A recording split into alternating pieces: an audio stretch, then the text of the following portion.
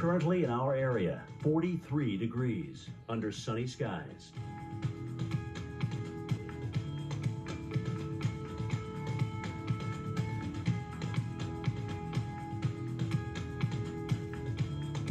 Tonight, a few passing clouds. Low 29. Winds light and variable. Tuesday, a mix of clouds and sun early, then becoming cloudy in the afternoon. High 46. Winds light and variable.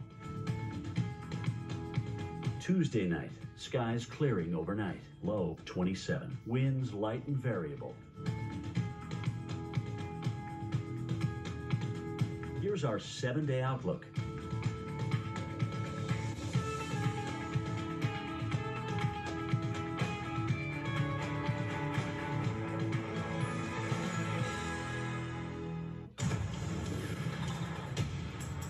Highway through